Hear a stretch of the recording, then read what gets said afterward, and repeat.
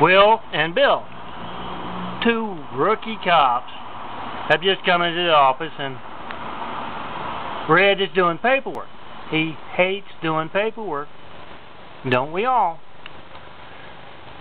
And they're going on and on about one of Stone Cold John Melton Brady, one and only, his videos.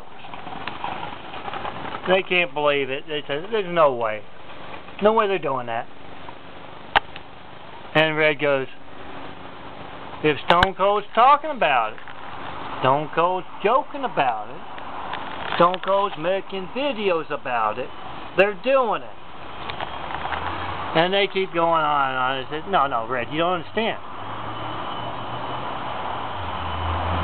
He's saying they're knuckling people, especially the cops taking part in Baraxville, Arabia with, you know, all those parasites running around and all those bald guys impersonating the one and only.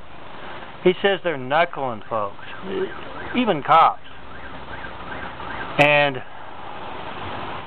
he said they, Vince told us, they knuckled Car Carl and uh, they've got that tip of his finger on a flash drive with his consequence videos. And uh, Red goes, guys, Stone Cold's talking about it. Stone Cold's joking about it. Stone Cold's making videos about it. They're doing it. Then he reaches under the desk and picks up this jar, puts it on the desk, and says, there's Carl's consequence flash drive.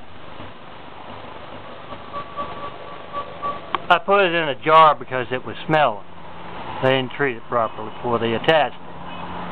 If you want to watch the videos, Carl has earned those consequences, those street justice videos. You take it in the next room.